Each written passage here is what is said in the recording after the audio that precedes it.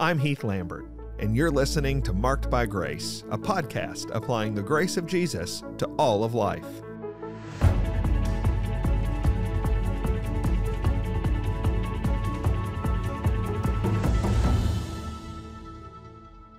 This week on the podcast, I want to talk about doubting your salvation. But I want to talk about doubting your salvation in a little bit of a different way uh, than we typically do.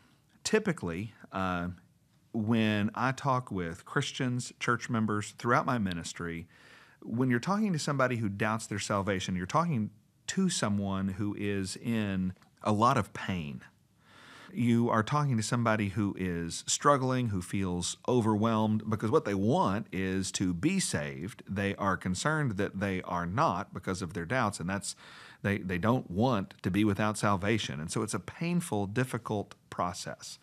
And there is a time and a place uh, to be open and honest about how painful and dark of a place that could be. But what I want to do this week is I want to talk about the blessing of doubting your salvation. Uh, there is a blessing in doubting your salvation, and there is um, a benefit to speaking to someone who is struggling like this to say, hey, look, I realize that you're overwhelmed, I realize that you're hurting, but I want you to see that there's a blessing in having these doubts and in raising these questions as well.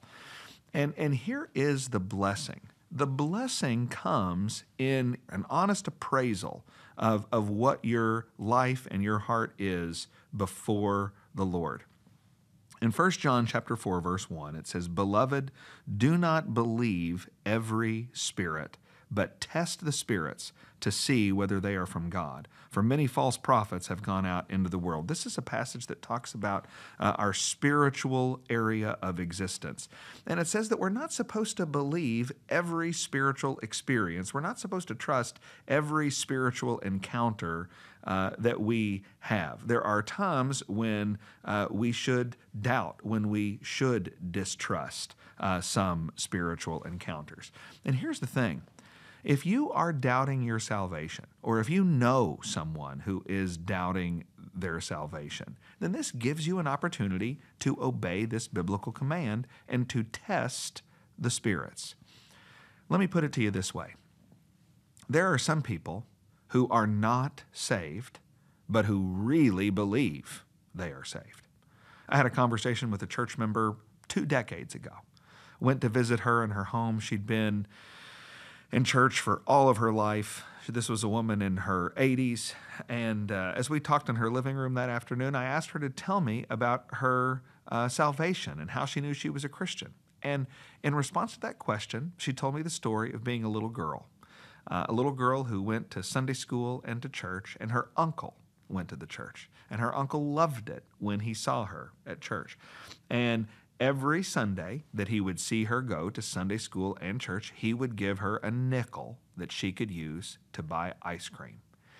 And she said, Pastor, there was never a Sunday that I didn't get my ice cream because there was never a Sunday that I didn't have my nickel because there was never a Sunday that I wasn't in church. That was her expression of assurance of salvation. When asked, Tell me why you're a Christian. Tell me how you know you're saved. And she told me about Sunday school and nickels and ice cream. Now, listen, I actually love all those things. I love Sunday school. I love nickels. I love ice cream. None of them are the reason I am saved. And none of them are the reason that woman was saved. That is to say, she had strong conviction that she was saved, but she was strongly incorrect. It would have been a blessing to her heart and a blessing to her eternal soul to doubt her salvation. She should have doubted her salvation because she wasn't saved. She needed to test the spirits. Here's the benefit if you're doubting your salvation, you have the opportunity to obey this command, ask hard questions, and discover whether the spirit that is testifying that you are saved is real. And here is what 1 John 4 goes on to say Don't believe every spirit, test every spirit to see whether it's from God. Many false prophets have gone out into the world. Verse 2 By this you know the Spirit of God. Every spirit that confesses that Jesus Christ has come in the flesh is from God. If you are doubting your salvation, I know it can be painful, I know it can be hard, I know it can be difficult, but there's a blessing in it. And the blessing in is discovering whether you really are saved. And if you would say, How do I know if I'm really saved? The answer is, Are you trusting in Jesus Christ? Are you trusting that Jesus Christ has come in the flesh to live a perfect life, to die on the cross, and to rise from the grave? If the answer to that question is yes, then you are saved. If the answer to that question is anything else, you're in trouble.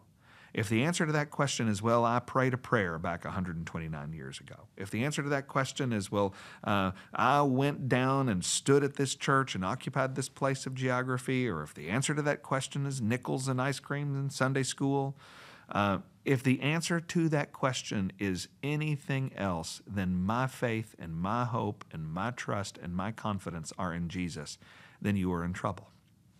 But if, on the other side of the doubt, if you wrestle it to the ground and you beg God to show you the spirit that's in your heart, and He reveals to you that you are right now, today, trusting in Jesus and in Jesus alone, then you are saved.